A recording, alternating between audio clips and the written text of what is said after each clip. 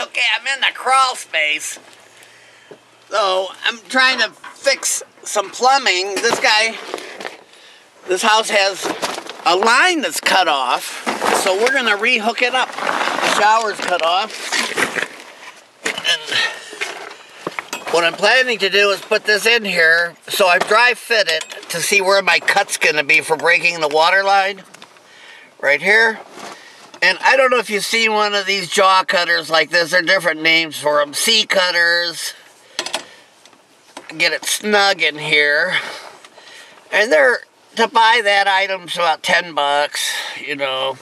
Now I want to make sure that it's inside the pipe here, my cut. I don't know if you see what I'm doing. I'm just eyeballing it. Now another thing is, look, I've got a lot of flex here on this one and on this one a little bit. So you gotta follow this. Any anybody can do this, cutting at least. If I had a bigger jaw cutter, it acts a lot of times they don't fit around. And yeah, this little one's harder. You see where it's got a little score here? Meaning, I, I check to see that it's not right or left, that it's right on target. Okay, and then each time I turn this a little bit clockwise, and I see this is going to be a nice, easy cut. Each, each time I run it around, sometimes I run it around twice, so it's a little easier. Now, you see I'm starting to get a score in there, not very much. Just turn that thing, I'm just giving it a quarter turn. And run it around twice. Now there's going to be water in here. Don't forget to turn the water off before you do something like this. I'm doing the same thing over and over again. I'm starting to see a very little bit of depth there.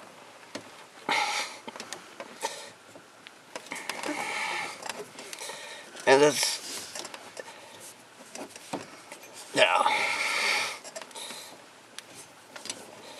now look, I'm not directly under it, but that way, when water comes out, I won't feel like a total idiot. There it is. I'm just gonna let it drain a little bit. I, I, I could get a drink of water here. It's fresh water. I mean, that's just so it doesn't splurt at me. I'm, you, you know, whenever you're doing plumbing, you're going to get wet. There's no avoiding it.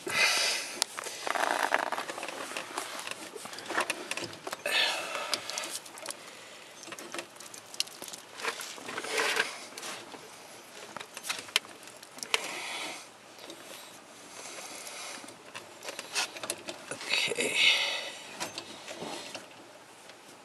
Now, it turns real easy because it's ready to snap. There. There we go. Now, now look, I got a lot of play in this one here. So I have to determine where I want it. Look, look here where I've got a lot of slop here, either way. Okay, now, I'm gonna dry fit everything before I make my next cut. So basically, I'm putting a, a, new T in here to connect. I'm just, like I say, I'm just dry fitting it. Now, if you cut these off with a hacksaw, oh man, you ain't never gonna get anywhere.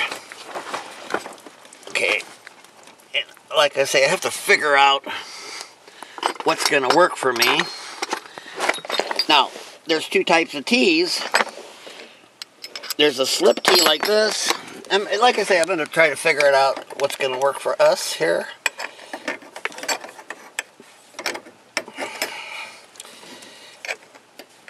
Now, this guy cut this one off with a hacksaw, not using what I used. Because of that, I'm going to try to clean it up. I don't know if you've seen this tool, but it's got two inserts in it for a half inch pipe, three quarter inch pipe, and these are reamers here for half inch pipe and three quarter.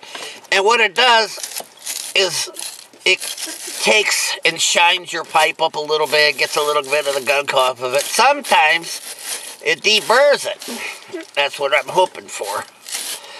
Now, you know, in plumbing, it's very common to be in a situation where everything is so tight and, you know, it's still draining water here, but it's not the end of the world. But to drain it, look, I'm pulling it down a little bit. I want to try to get as much water out of it as I can. Okay, and that's going to continue on for till. Okay, I don't know if you can see what I've done, but I've cleaned that up a little bit. A little bit, and uh, try my elbow in there.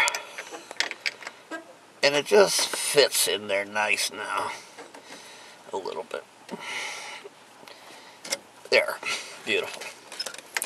Now, if I make sure I have the slip, sometimes it's kind of fighting them to get them pre-fitted.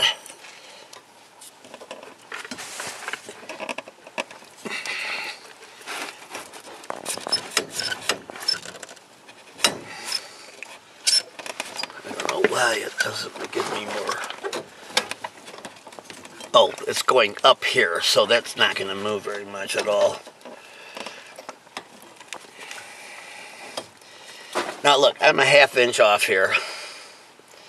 So that's that's create create quite a bit of a problem here. You know.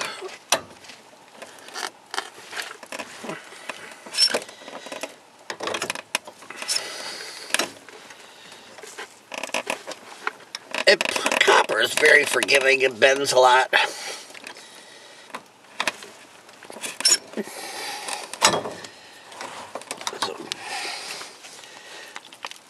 Now, see this column going up here? I'm going to go ahead and bend it a little bit. It's not going to hurt anything.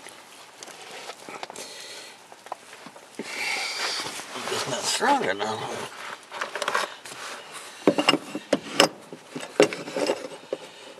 Persuaded here.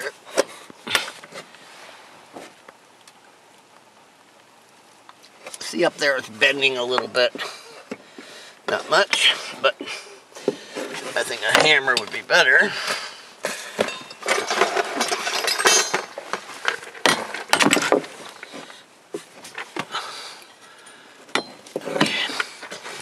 Okay, what I'm doing is I'm forcing it to line up somehow. Fight, fight, fight.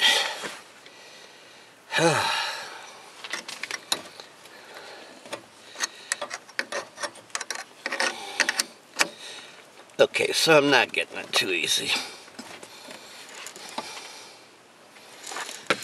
I'm so close here, half inch, three quarters inch. Yep, there we go. There. Okay, now this is called what, what I call dry fitting. Okay, now I need to match this. So I need one more cut there. And some people have all new tools. I got old tools, so these stick a little bit. Reset that. Okay. Now, it's always better to cut it long and fight it in than to cut it short and not be able to do it. I'm doing the same thing I did before no, you don't want to cut both of them until you're ready for the second cut, if that's what you're wondering why you didn't. Everybody does things differently. Now, I'm doing the same thing, repeating. Now, very slight turn until I'm sure that it's lined up. Uh, like I say, we're basically just doing the same thing. Now, on half inch pipe, this thing turns pretty good, but on three quarter inch pipe, it doesn't. So give it a quarter turn there. spin it around again.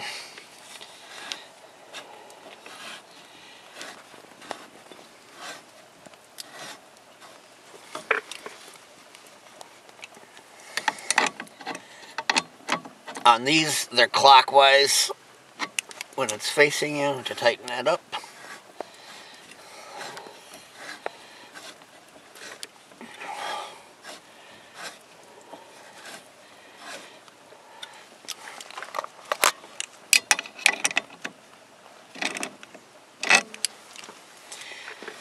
But learning trades today, you know, you can learn how to do everything in plumbing by watching YouTube. Maybe not just our channel, but, you know, there's other channels out there. Okay, now I got that off. I'm going to do the same thing. I'm going to clean it up a little bit.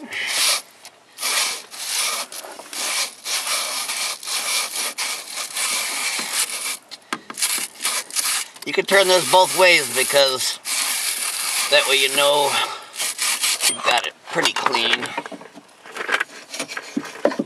Okay.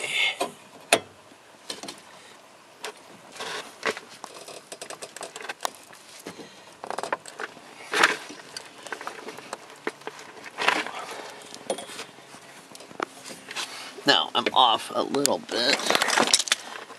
I'm just going to persuade this over, like lining it up. I don't know if you can see where I'm a little crooked. Okay, now I've got that fitted in. Now everything's dry fitted. Now I'm going to take it all apart. And I'm basically I need to get all that water out of the line because it's pretty hard to sweat.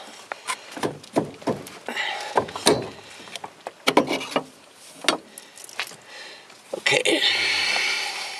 And you can see we're still dripping here. Dripping wet. And, uh,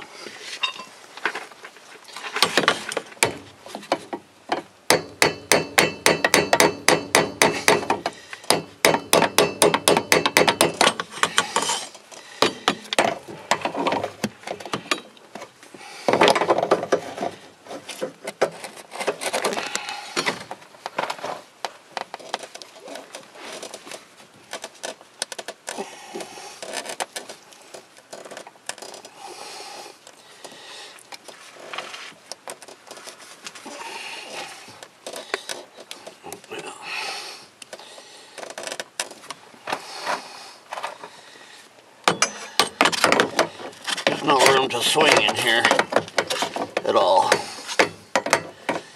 You know.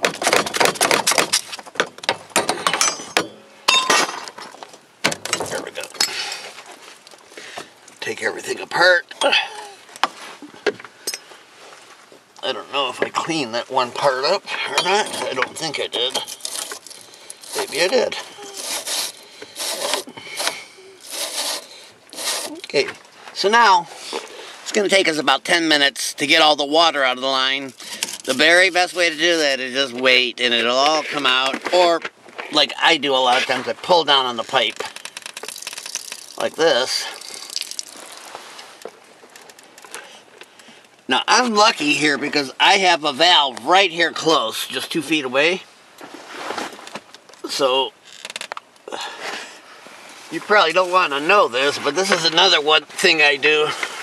That, you know, another way to get water out is to get it out.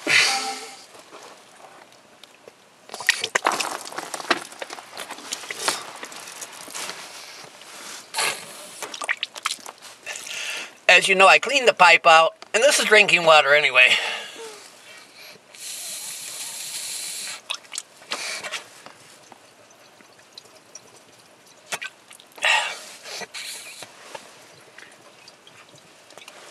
See, I'm not getting anymore, but I hear it, so I'm going to blow it out too.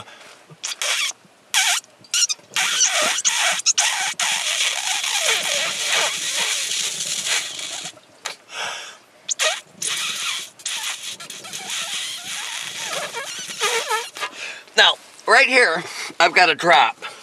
So I know this pipe is going to stay good. on the other side, I know it only goes up to the sink, so I know this one's good.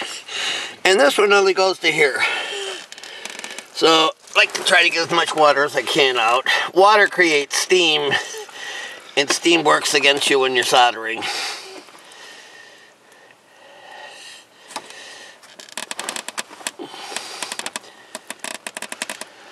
Yeah, you can pull on these pretty hard. It's not going to hurt anything. Look, look at the trick here. I just lifted this other end up. And that, of course, no-brainer. Believe me, if there's just a little bit of water in there, you're going to have trouble. Now, I feel mostly out. Of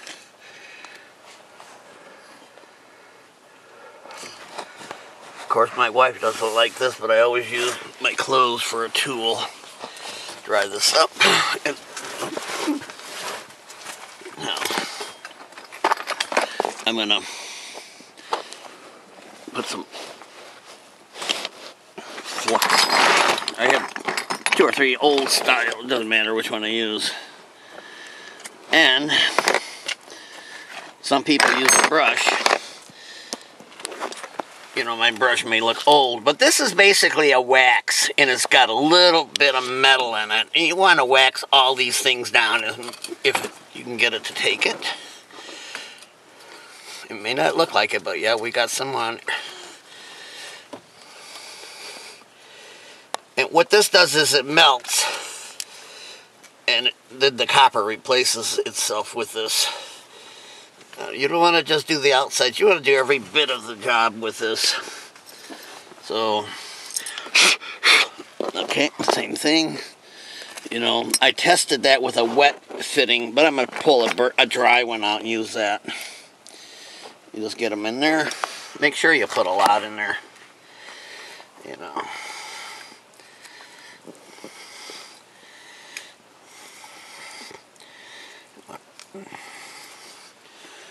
And I'm going to start reassembling this thing again.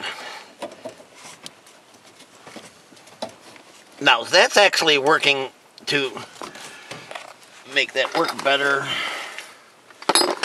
And um, I did buy a lot of fittings, so what I'm deliberately doing is I'm pulling out dry ones.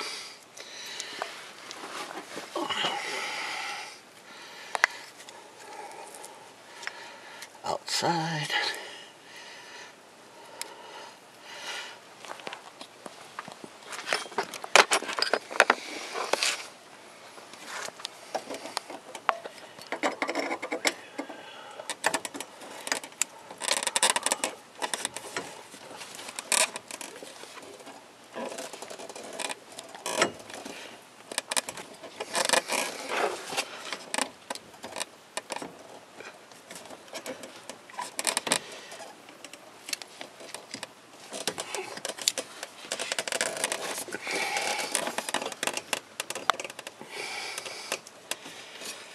But, sorry, there's dead space, but you can use your finger and that doesn't hurt anything.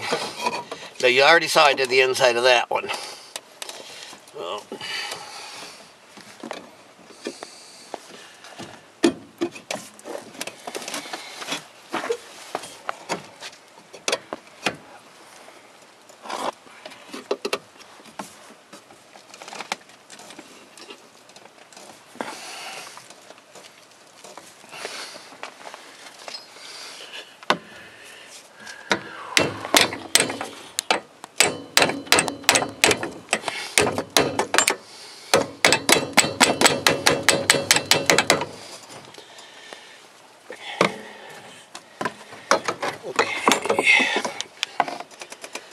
I'm trying to get that to tighten up a little bit more, not much. And I got it. Okay, pretty much I'm ready to solder here.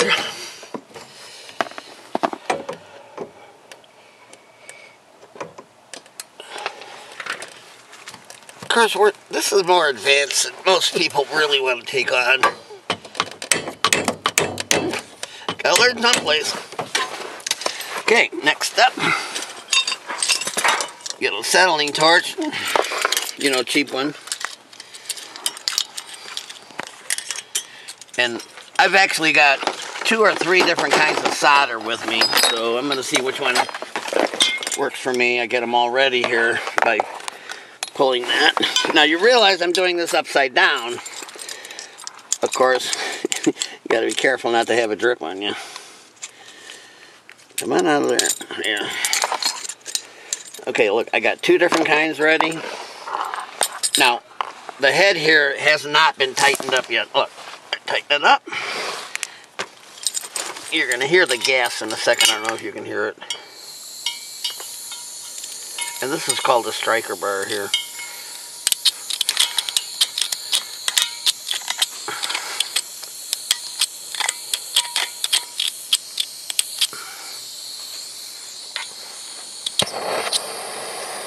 Okay, now that's that's a nice flame there.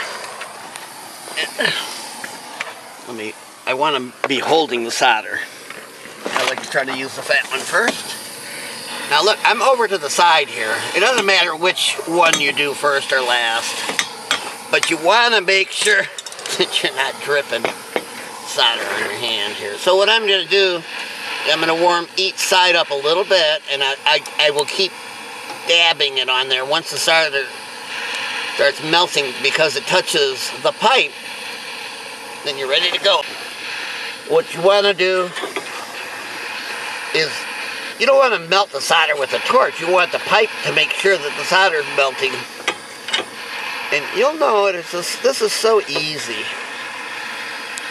Look at that. It's starting to work here. It's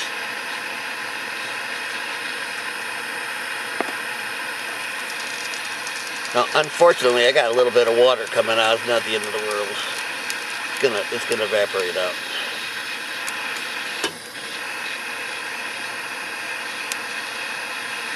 So I'm doing my high joints first. It doesn't really matter.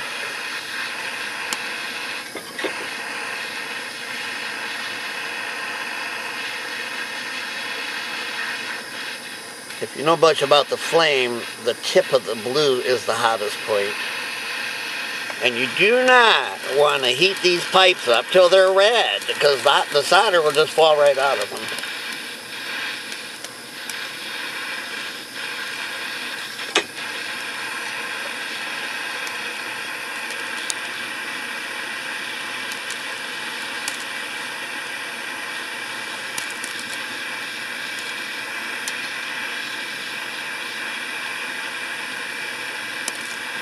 I'm wearing glasses on purpose because I don't want anything to go in my eye.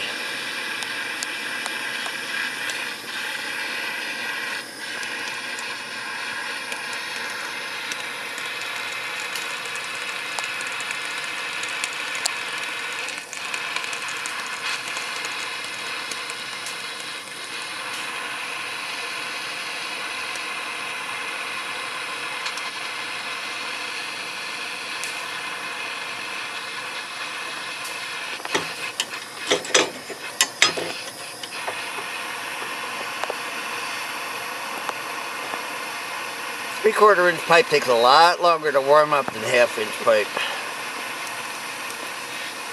When that solder drops, then I think I'm ready.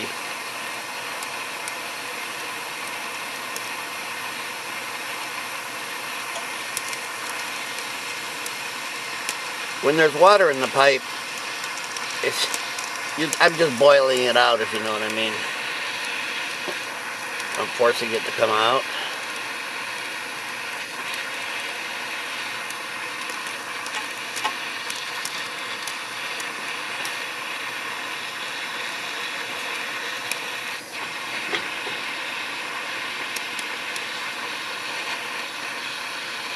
Just fighting the water right now.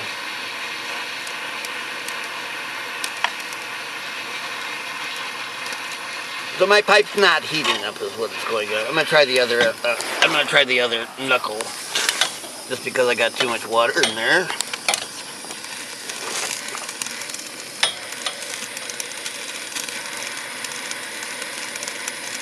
You see the steam coming out? Good thing.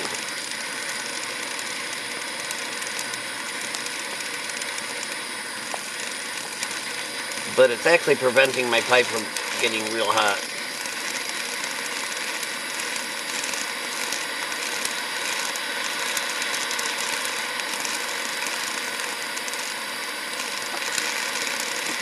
And if you guys don't know how to sweat pipes, there's fittings called, maybe they're called shark jaws or something. Another way to do it, but man, those are so often leak.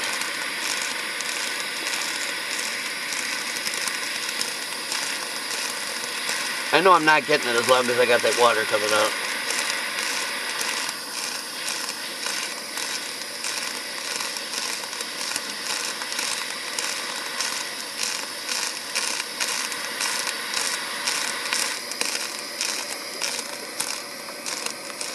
No, my pipe's just not warming up.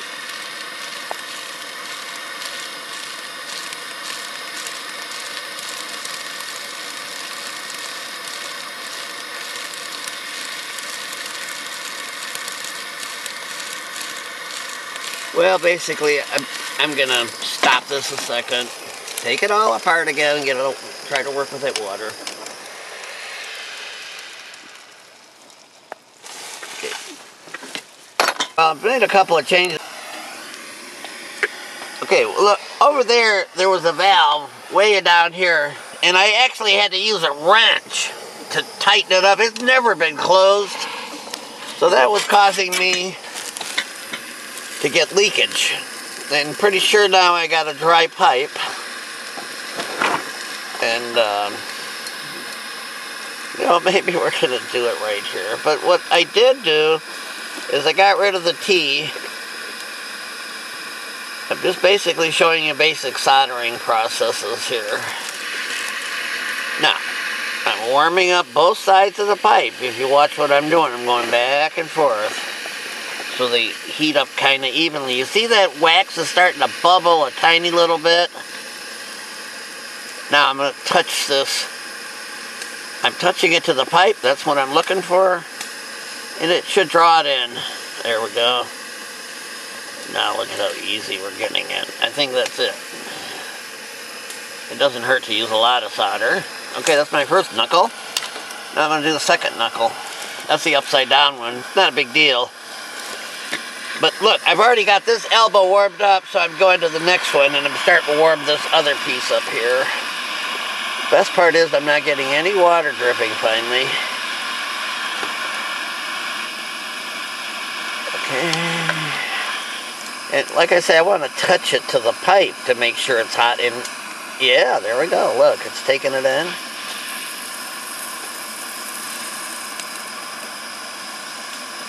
Okay, it works its own way around. It, it, you don't have to go all the way around with the solder itself. Now, I'm doing the last one here. And if I don't get any water, which I better be good.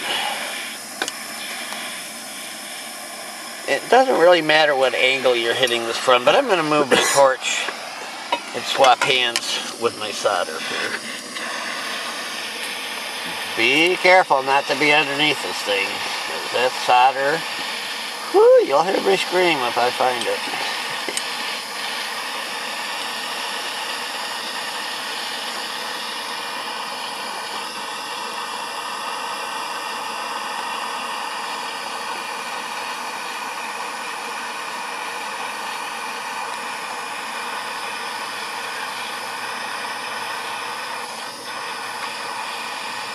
I'm going back and forth to both pipes, trying to get them evenly heated. Now, I think part of that was just the torch touching the solder. It's not hot enough yet.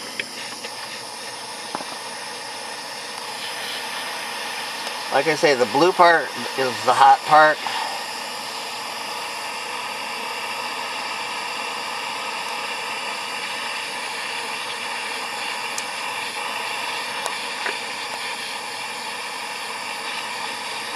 look down there when my solder's dripping. You get a little bit of steam down there because the solder's hitting the wet spot.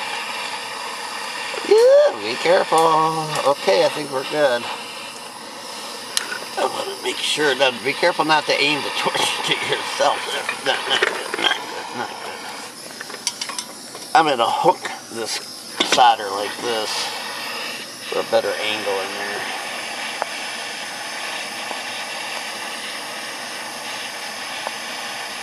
Oh yeah, there it goes. There it goes.